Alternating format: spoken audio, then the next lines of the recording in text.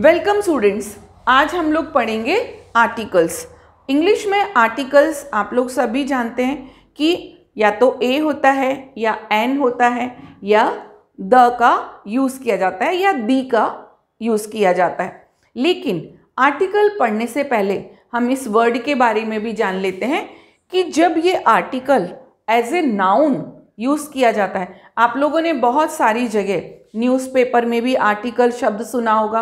और आपके question paper में भी आता है write an article on pollution on save water तो वहाँ पर आर्टिकल का मतलब क्या होता है? तो जब आर्टिकल वर्ड नाउन के रूप में आता है तो इसका हिंदी में एक मीनिंग होता है, अनुच्छेद। जैसे कि आप कॉन्स्टिट्यूशन या संविधान में कि इस अनुच्छेद में ये बात कही गई है तो वो अनुच्छेद वहाँ पर आर्टिकल फिर कोई भी लेख या निबंध, जैसे कि आपके क्वेश्चन पेपर में ही लिखा रहता है राइट एन आर्टिकल किसी भी टॉपिक पर। फिर कोई सामान्य वस्तु के लिए भी आर्टिकल का यूज़ किया जाता है। A piece of writing on a particular subject article यानी लेख किसी भी विशेष पर्टिकुलर किसी खास सब्जेक्ट पर यदि कुछ लेख लिखा जाए तो वो क्या कहलाएगा? आर्टिकल ये लेख न्यूज़पेपर में भी हो सकता है मैगजीन में भी हो सकता है ऑन इंटरनेट, यानी आप इंटरनेट पर भी कोई लेख पढ़ते हैं, या मैगजीन में पढ़ते हैं, या न्यूज़पेपर में पढ़ते हैं, तब भी उस लेख को क्या कहा जाएगा? उसको आर्टिकल कहा जाएगा। तो ये तो हुआ कि आर्टिकल का शाब्दिक अर्थ जब ये एज ए नाउन यूज़ होता है, तब क्या होता है? अब जो आर्टिकल हम लोग पढ़ने जा रहे हैं इंग्लिश ग्रामर में आर्टिकल्स क्या होते हैं? हम लोग ये समझने जा रहे हैं। तो जो ये आर्टिकल्स होते हैं ये जो इंग्लिश में पार्ट ऑफ़ स्पीच है, यानी नाउन है कि प्रोनाउन है एडजेक्टिव है कि एडवर्ब है तो इन सब में जो डिटर्मिनर्स हैं, इसके अंतर्गत आर्टिकल्स आते हैं। Articles are small words that often use at the beginning of a noun phrase किसी भी नाउन के पहले या नाउन फ्रेज के पहले आर्टिकल्स आते हैं और बहुत ही स्मॉल वर्ड होते हैं। आप लोग जानते ही हैं ए या एन या द इतने छोटे से वर्ड्स होते हैं जो कि किसी भी नाउन फ्रेज के पहले आते हैं। लेकिन ये होते, छोटे तो होते हैं स्मॉल वर्ड्स लेकिन ये बहुत ही इंपॉर्टेंट होते हैं। Articles are use with nouns article को नाउन के पहले यूज़ किया जाता है। But not all nouns are use with articles ये इंपॉर्टेंट है कि सारी नाउन के पहले आर्टिकल नहीं आते हैं। अब इसी बात को समझने के लिए हम लोग आर्टिकल को पढ़ रहे हैं कि किन नाउन्स के पहले या किन कंडीशन में कौन सा आर्टिकल आता है। कौन सा आर्टिकल का मतलब आर्टिकल ज़्यादा होते हैं? तो जो आर्टिकल के टाइप हैं indefinite article and definite article indefinite word भी आप लोगों के लिए नया नहीं है। जब आप लोगों को मैंने टेंस पढ़ाया था तो प्रेजेंट इंडेफिनिट पास्ट इंडेफिनिट तो इंडेफिनिट वर्ड का आपको मीनिंग समझाया था। लेकिन यहाँ पर हम इंडेफिनिट जब आर्टिकल को पढ़ेंगे तो एक बार फिर से इंडेफिनिट क्या होता है, उसको समझ लेंगे। तो जो इंडेफिनिट आर्टिकल होते हैं, वो होते हैं ए या एन और जो डेफिनेट आर्टिकल में यूज़ होता है, वो होता है दी या द। कब टी एच ई को दी प्रोनाउंस करते हैं? कब टी एच ई को द प्रोनाउंस करते हैं, ये भी हम जब डेफिनेट आर्टिकल को समझेंगे, तब इस बात को भी सीखेंगे। तो अब हम लोग पढ़ेंगे इनडेफिनेट आर्टिकल ए या एन यानी कब हम ए का यूज़ करेंगे और कब एन का यूज़ करेंगे। जल्दी से आप, ये बहुत ही इंपॉर्टेंट इन्फॉर्मेशन है, इसका एक स्क्रीनशॉट ले लें, इसके आगे हम लोग इनडेफिनेट आर्टिकल को कैसे यूज़ किया जाता है, ये सीखेंगे।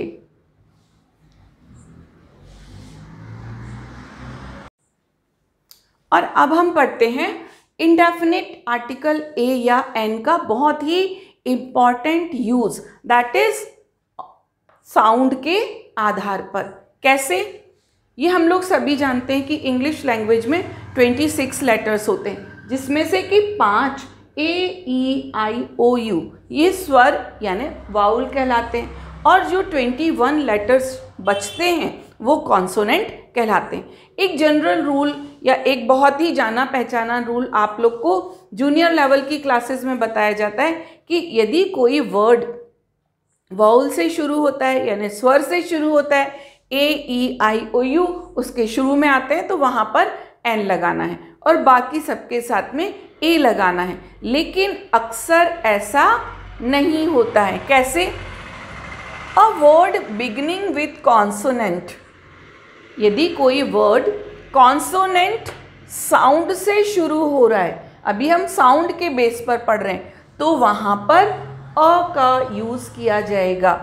A boy a child a student consonant भी हैं और इनकी जो साउंड है, वो भी कॉन्सोनेंट जैसी ही है।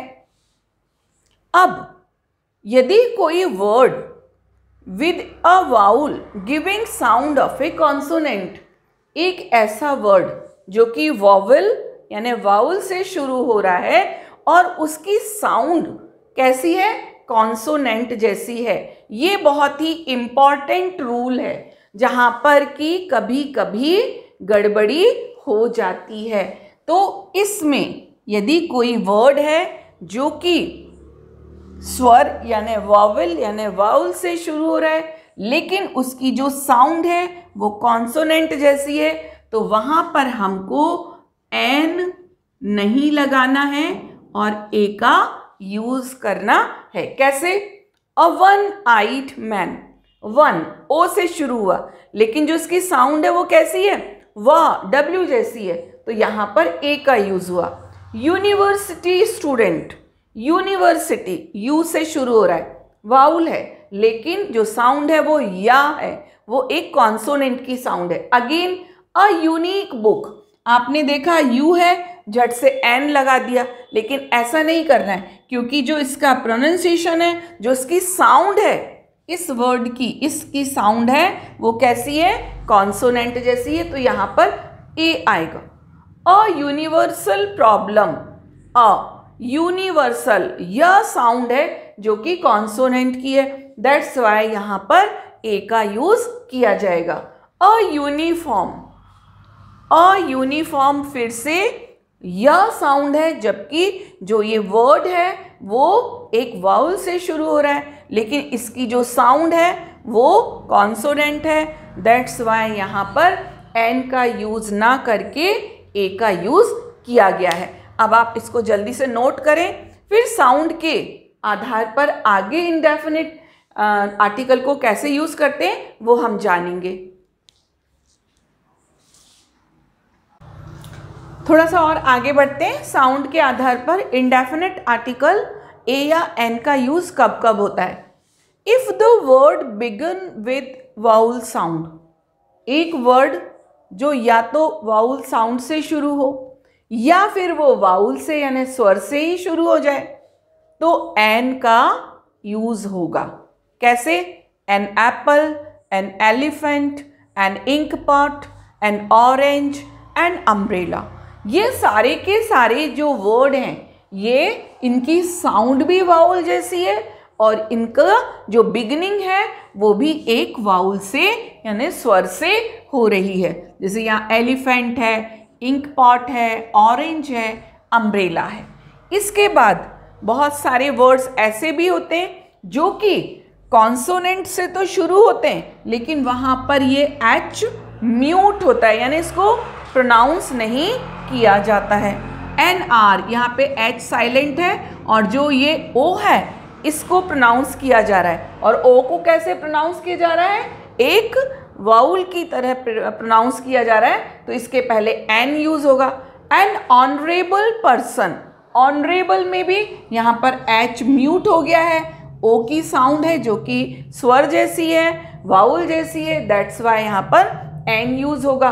An honest man same H silent है एच म्यूट है, और जो सेकेंड लेटर है ओ उससे उसका प्रोनाउंसिएशन हो रहा है तो यहाँ पर एन का यूज़ होगा।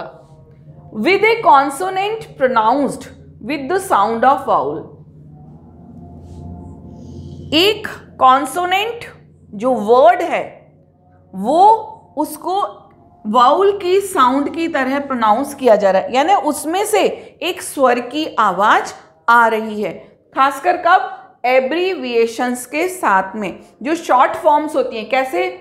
An L L B student L L B तो ये एल कैसा हो रहा है? ऐसा एल जो आपकी साउंड है, वो कैसी आ रही है? ई e पहले आ रहा है। यहाँ पर इसलिए क्या हुआ? एन लगा। एन एम पी तो एम पी को कैसे बोला जा रहा है? इस तरह का बोला जा रहा है। एम तो यहाँ पर क्या हुआ? अ साउंड है। इसके कारण इसमें एन लगा। एस पी सेम ये एस को कैसे प्रोनाउंस किया जा रहा है? एस इस तरह से। तो इसके पहले भी एन का यूज़ हुआ। An F I R F I R F को कैसे? एफ़ को जो प्रोनाउंसिएशन है, वो भी इस तरीके का है। तो यहाँ पर ये एक वाउल साउंड है, इसलिए वो एफ़ आई आर के पहले एन है। एन एक्सरे एक्सरे एक्सरे को भी जब प्रोनाउंस किया जा रहा है तो कैसे कर रहे हैं? ई के एस एक्सरे ये हमारी ऐसी साउंड निकल रही है। जो कि वाउल की है तो यहाँ पर एन लगेगा। लेकिन एक बात इंपॉर्टेंट है, यदि एब्रीविएशन फुल फॉर्म में हो, यानी जो शॉर्ट फॉर्म नहीं हो तो वहाँ पर ए का यूज़ होगा। कैसे?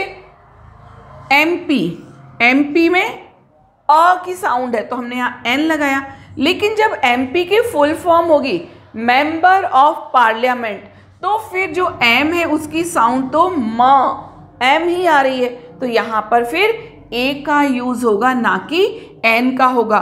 तो ये बहुत इंपॉर्टेंट यूज़ है कि यदि एब्रीविएटेड फॉर्म में वो वर्ड है और उससे वाउल साउंड आ रही है तो हम वहाँ एन लगाएँगे। लेकिन यदि उसकी फुल फॉर्म है तो हमको ये चेक करना पड़ेगा कि फुल फॉर्म में वाउल साउंड है कि नहीं। तभी हम वहाँ पर ए या एन का यूज़ करेंगे।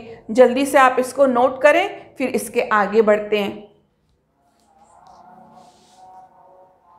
और अब हम आगे बढ़ने से पहले एक छोटा सा टॉपिक और पढ़ लेते हैं। पोजीशन ऑफ़ आर्टिकल कि आर्टिकल की पोजीशन कहाँ हो? अभी हमने पढ़ा कि जो आर्टिकल हैं, वो नाउन के पहले या नाउन फ्रेज के पहले आते हैं, लेकिन एग्जैक्ट पोजीशन क्या होती है और किस तरीके से आर्टिकल का यूज़ होता है, यहाँ पर देखते हैं। यूजली ए एन नाउन से पहले आते हैं। अक्सर जो इंडेफिनिट आर्टिकल ए एन है ये नाउन के पहले आते हैं, जैसे कि अ बुक एन एनेमी और भी जो हम एग्ज़ाम्पल अभी तक देख चुके हैं। The choice of a an the choice of a और an does not always depend on the initial sound of the head noun लेकिन हमेशा कि आप ए लगाएँ या एन लगाएँ, ये इस बात पर डिपेंड नहीं करता कि वो किस नाउन के लिए यूज़ हुए हैं। कैसे?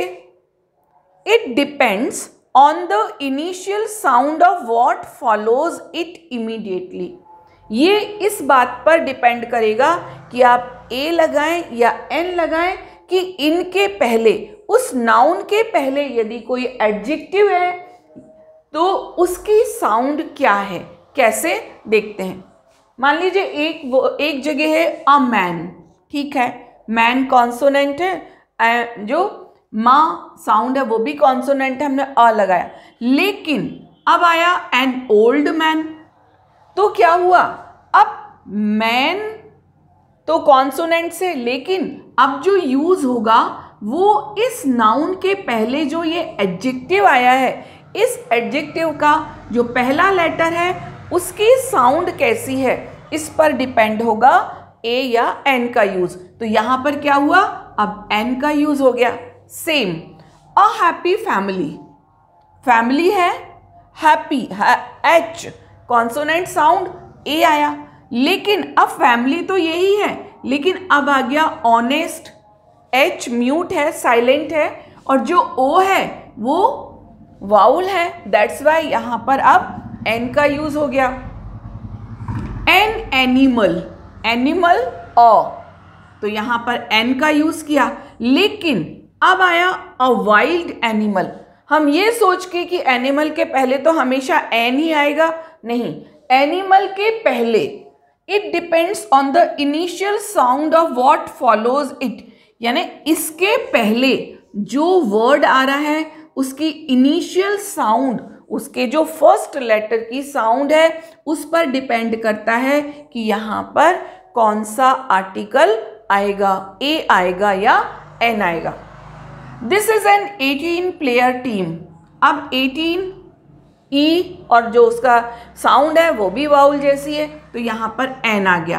18 प्लेयर टीम यानी ये 18 जो प्लेयर्स हैं, उनकी टीम है।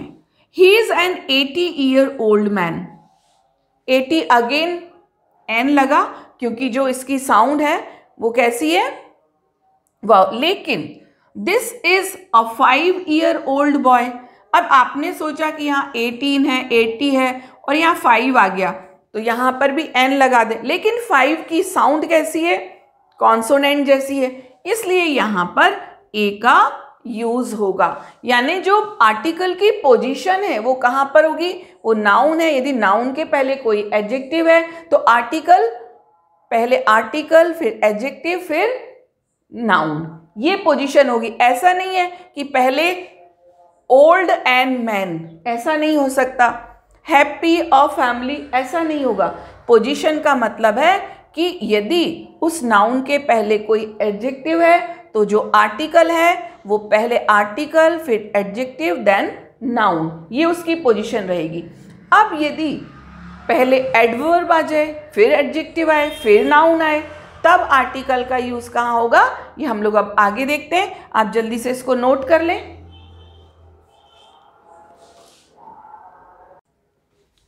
पोजीशन ऑफ़ आर्टिकल को थोड़ा सा और देखते हैं।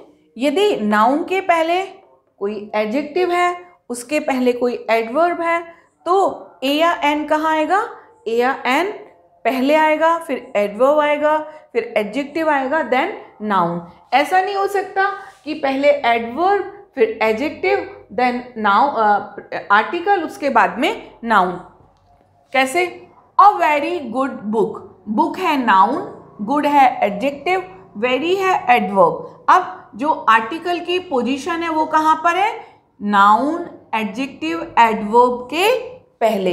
ऐसा नहीं हो सकता कि ये ए अब भी नाउन के पहले ही जाए।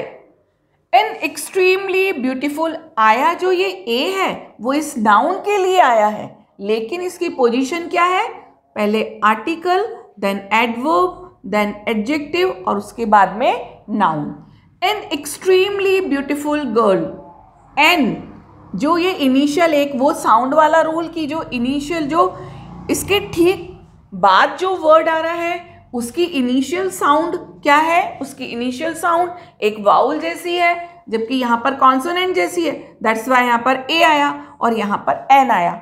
पहले ये एडवर्ब फिर एडजेक्टिव उसके बाद में नाउन तो जो इंडेफिनिट आर्टिकल की पोजीशन होगी या आर्टिकल की पोजीशन होगी, वो कैसी होगी? पहले adverb article adverb adjective then noun तो हमको जब भी हम सेंटेंस को लिखें या आपको करेक्शन के लिए आए तो आपको इस पोजीशन को याद रखना है कि कभी भी एक्सट्रीमली ब्यूटीफुल एन गर्ल या ए गर्ल यहाँ पर नहीं हो सकता है। इसके बाद में एक अगला जो नियम है कि जो ए एन ए या an is used when we talk of a thing or a person, that is indefinite or mentioned for the first time. जब किसी भी व्यक्ति के बारे में फ़र्स्ट टाइम में चर्चा की जाती है पहली बार उसको बोला जाता है, या फिर वो इंडेफिनिट यानी एक जनरल सेंस में बोला जाता है, जैसे once upon a time there was a lion एक बार की बात है, एक लॉइन था। तो क्या है? जो अ लॉइन है, वो क्या है? इनडेफिनेट कोई किसी पर्टिकुलर के बारे में बात नहीं की जा रही है। उसको और पहली बार वो उस आ, जो स्टोरी में या उस आ, जो हम लोग जो बोल रहे हैं या लिख रहे हैं उसमें उसको यूज़ किया जा रहा है इंट्रोड्यूस किया जा रहा है उस नाउन को। तब वहाँ पर ए या एन का यूज़ होगा। ये बहुत ही इंपॉर्टेंट यूज़ है। अक्सर हम यूज़ करते हैं लेकिन हमें ये पता नहीं होता कि यहाँ पर ए और एन का यूज़ क्यों किया गया। तो ए और एन ए अथवा एन का यूज़ एवरी के सेंस में भी होता है वन के सेंस में भी होता है एनी के सेंस में भी होता है सम या सेम के अर्थ में किया जाता है। सेंटेंस कॉमन है, लेकिन आप किस, क्या इसमें ए का लगने से या एन का लगने से उसका अर्थ क्या बन रहा है, ये समझ नहीं पाते। कैसे? आई नीड अ बुक ये तो कॉमन बात है। I need a book a means one book I need one book a का मतलब वहाँ पे one and old man had four sons again जो एन है एन यहाँ पर क्या सेंस दे रहा है? वन का सेंस दे रहा है. He earns only fifty rupees a day वो एक दिन, हर दिन, यहाँ पर आ डे का मतलब एवरी डे वो हर दिन, प्रत्येक दिन फिफ्टी रुपीज़ अर्न करता है, कमाता है. यहाँ पर जो ये आ का यूज़ किस सेंस में किया जा रहा है? एवरी के सेंस में किया जा रहा है। The train runs at 150 kilometres an are यहाँ पर एन का यूज़ एवरी यानी प्रत्येक, जो उसकी जो रफ्तार है, वो क्या है? 150 किलोमीटर प्रति घंटा एवरी आर यानी हर घंटे वो 150 तो यहाँ पर जो एन का यूज़ है, वो एवरी के सेंस में। The birds of a feather flock together अब यहाँ पर जो अ का यूज़ है, वो ना तो वन के सेंस में, ना एवरी के सेंस में. यहाँ पर जो वन अ का यूज़ है, वो same the birds of a feather a means same ऐसी जो बर्ड्स जिनके की पंख समान होते हैं, वो एक साथ फ्लॉक रहती हैं, इकट्ठी रहती हैं. तो ये क्या हुआ? The birds of a feather flock together. यहाँ पर अ का मतलब एक पंख नहीं है कि बहुत सारी चिड़िया जिनका एक पंख। यहाँ पर अ का मतलब है सेम यानी यहाँ पर ए या एन का यूज़ किस सेंस में हुआ है? सेम के सेंस में हुआ है। तो हम ये यूज़ करना तो जानते हैं, लेकिन ये पता नहीं चलता कि यहाँ पर इस अ का मीनिंग क्या आ रहा है या इस एन का मीनिंग क्या आ रहा है। तो हमको ये भी याद रखना है कि अ का मतलब वन ही नहीं होता। वो every any one some same इतने मीनिंग दे सकता है। इसके आगे हम लोग एनी का कैसे मीनिंग देता है कब यूज़ किया जाता है ये पढ़ेंगे। आप इसको नोट कर लें फिर आगे बढ़ते हैं। थोड़ा और आगे बढ़ते हैं। ए या एन यानी इंडेफिनिट आर्टिकल का हमने पढ़ा कि वन के सेंस में आ, वो मीनिंग देते हैं। सम के सेंस में देते हैं सेम के सेंस में देते हैं और एनी के सेंस में देते हैं। कैसे देते हैं? जब नाउन पूरे क्लास को रिप्रेजेंट करे, यानी जब वो नाउन अपने किसी क्वालिटी में उस पूरी क्लास को, यानी उस पूरे समूह को रिप्रेजेंट करे तो वहाँ पर इनडेफिनेट आर्टिकल का यूज़ होता है। किस सेंस में? एनी के सेंस में। कैसे? A cow is a useful animal तो जो अ है, इसका मतलब ये नहीं कि एक ही काउ यूजफुल है। अ काउ मीन्स एनी कोई भी, जो उनकी पूरी काउ की जो कम्युनिटी है, पूरी क्लास है, जितनी भी गाय हैं, वो क्या है? कोई भी उनमें से हो, वो यूजफुल एनिमल है। A rose is a beautiful flower एक गुलाब नहीं एनी कोई भी रोज को ले लें, सभी बहुत ब्यूटीफुल होते हैं। तो यहाँ पर जब एक नाउन पूरी अपनी कम्युनिटी को रिप्रेजेंट करे कि एक जो नाउन है, उसमें जो क्वालिटी है, वो उस पूरी कम्युनिटी में है। तो वहाँ पर जो इंडेफिनेट आर्टिकल है, वो एनी के सेंस में यूज़ होता है। एक और बहुत इंटरेस्टिंग यूज़ है। जब व्यक्ति स्ट्रेंजर हो, या हमें उसके बारे में, उसके सरनेम के अलावा कोई ज़्यादा ना पता हो, जैसे कभी आपके घर कोई आता है, आपने दरवाज़ा खोला और उसने बताया कि मैं ये हूँ। आप केवल उसके सरनेम के अलावा कुछ नहीं जानते। तो आप क्या अपने फादर से बोलते हैं कि कोई मिस्टर शर्मा आए हैं या कोई मिस्टर पॉल आए हैं? तो जो कोई है दैट इज़ समवन समवन के सेंस में जो इंडेफिनेट आर्टिकल का यूज़ होगा। A mister Sharma came in the evening a mister Sharma, एक मिस्टर शर्मा यानी कोई मिस्टर शर्मा यानी हम उनके सरनेम के अलावा, वो स्ट्रेंजर हैं और इसके अलावा कुछ नहीं जानते।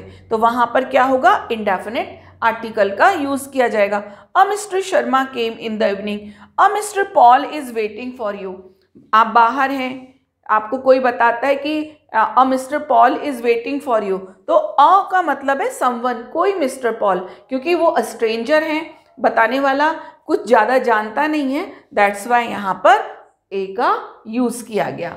इसके बाद में to make a common noun of a proper noun to express quality to generalise the proper noun बहुत ही इंपॉर्टेंट और एडवांस यूज़ है। एक कॉमन नाउन नाउन के बारे में मैंने एक नाउन पर भी वीडियो बनाया था तो बहुत डिटेल में नाउन के प्रकार को समझाया था, और आपको ये भी बोला था कि बार बार ये वर्ड आएँगे तो आप इनको बहुत अच्छे से समझिए। To make a common noun of a proper noun proper noun यानी किसी का भी नाम। जब हम उस प्रॉपर नाउन को एक कॉमन नाउन में कन्वर्ट करें, कैसे? ये बतलाने के लिए कि उसकी कोई क्वालिटी वो जो नाम है, वो अपने नाम के कारण नहीं, वो अपने गुण के कारण जाना जा रहा है, उस समय पर क्या किया जाएगा? उसमें इनडेफिनेट आर्टिकल का यूज़ जैसे he is a Newton a Newton, वो तो एक न्यूटन है। तो यहाँ पर न्यूटन तो एक ही था। लेकिन अ न्यूटन का मतलब है कि जो उसमें क्वालिटीज हैं, जो उसकी क्वालिटी है एज एबल एज न्यूटन, यानी उसकी जो क्वालिटी है, वो न्यूटन की क्वालिटी से मेल खाती हैं, यानी उसमें वही क्वालिटीज़ हैं। तो उसकी क्वालिटीज़ को एक्सप्रेस करने के लिए अ का यूज़ किया गया इनडेफिनेट आर्टिकल का यूज़ किया गया। शी इज़ एन आइंस्टीन हम लोग सभी जानते हैं कि आइंस्टीन वॉज़ वेरी इंटेलिजेंट जब क्लास में कोई भी बहुत इंटेलिजेंट होता है तो क्या बोलते हैं? शी इज़ या he is an Einstein Einstein का मतलब यहाँ पर क्या है? ये प्रॉपर नाउन को कॉमन नाउन में कन्वर्ट कर दिया। यानी कॉमन नाउन में उसकी क्वालिटी को एक्सप्रेस करने के लिए एज इंटेलिजेंट वो आइंस्टीन की तरह इंटेलिजेंट है। दैट्स वाई यहाँ पर क्या इसके पहले एक इंडेफिनिट आर्टिकल का यूज़ किया गया। ही इज़ अ विक्रमादित्य हम लोग सभी जानते हैं कि विक्रमादित्य बहुत न्यायप्रिय था। तो जब कोई बहुत ही ज़्यादा न्यायप्रिय होता है, ऐसी बहुत सारी बातें होती हैं, हम लोग उसको, उसके गुण के कारण उसको वो नाम दे देते हैं। और उसके पहले इनडेफिनेट आर्टिकल या तो ए या एन का यूज़ किया जाता है। समान सेम के सेंस में, अभी मैंने बताया था एनी के सेंस में सम के सेंस में वन के सेंस में, और समान। He thinks he is a Kishore Kumar जब कोई गाना गाता है, या उसमें कोई मिमिक्री करता है, या कुछ भी क्वालिटी हो, कोई कविता लिखता है तो वो क्या है? उसके समान, यानी सेम के अर्थ में वन अलाइक ही थिंक्स वो ऐसा सोचता है he is a Kishore Kumar a Kishore Kumar का मतलब है कि जो किशोर कुमार है, वो सिंगर है तो वो सोचता है कि वो अलाइक यानी उसके जैसा है, किशोर कुमार के जैसा।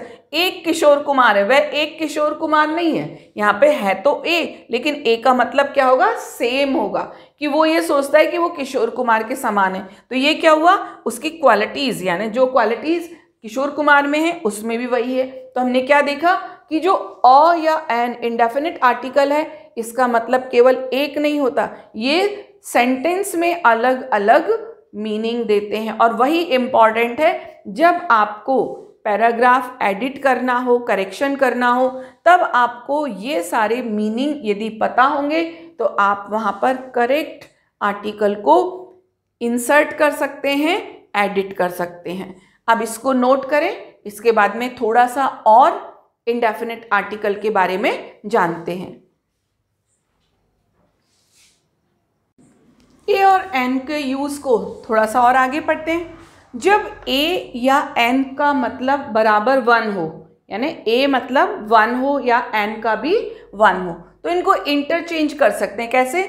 आई बॉट ए पेन या I bought one pen same meaning है। लेकिन हर जगह ऐसा नहीं होता। A bird has got wings अब यहाँ पर यदि हम इस पर वन लिख दें तो इसका मतलब ये होगा कि केवल एक बर्ड के ही पंख होते हैं। तो यहाँ पर क्या है ये? जो अ है, ये क्या मीनिंग दे रहा है? एनी का सेंस दे रहा है। इसलिए हम यहाँ पर वन नहीं लिख सकते। आपको इसीलिए पता होना चाहिए कि इंडेफिनिट आर्टिकल उस पर्टिकुलर सेंटेंस में किस सेंस में यूज़ किया गया है। कुछ संख्यात्मक पद होते हैं, यानी न्यूमेरिकल एक्सप्रेशंस होते हैं, जैसे प्राइस है रेट है रेशियो है स्पीड है। यदि ये बताई जा रही है, तब भी अ या एन का यूज़ होता है। कैसे? She can type forty words a minute वो एक मिनट में चालीस वर्ड को टाइप कर सकती है। यानी यहाँ पर स्पीड की बात हो रही है तो यहाँ पर क्या हुआ? अ का यूज़ किया गया। Oranges sell at fifty rupees a kilo यहाँ पर प्राइस की बात हो रही है तो यहाँ पर प्राइस के पहले जो इंडेफिनिट आर्टिकल का यूज़ किया गया। तो ये तो थे इंडेफिनिट आर्टिकल ए या एन के जनरल यूज़ जो कि अक्सर आप देखते हैं। अब इसके आगे जो नेक्स्ट वीडियो में इनका एडवांस यूज़ हम लोग पढ़ेंगे, जो कि आपके कॉम्पिटिटिव एग्ज़ाम्स में भी बहुत यूज़फुल होगा। तो आप लोग इस वीडियो को बार बार देखें, ताकि आपको जो इंडेफिनिट आर्टिकल के सिंपल यूजेस हैं, लेकिन फिर भी इंटरेस्टिंग हैं, वो आपको समझ में आए। आप उनका बहुत अच्छे से यूज़ करें और उनको लिखने में, अपनी राइटिंग स्किल्स में भी यूज़ करें। तो नेक्स्ट वीडियो तक के लिए जय हिंद।